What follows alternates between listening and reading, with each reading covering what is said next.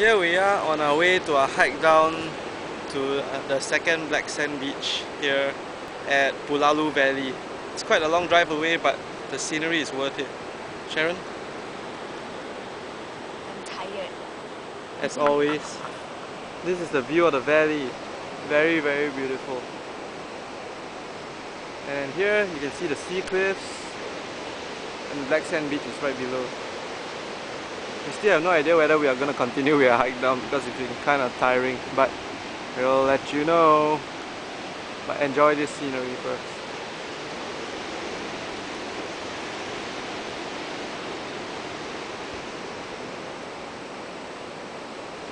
See ya!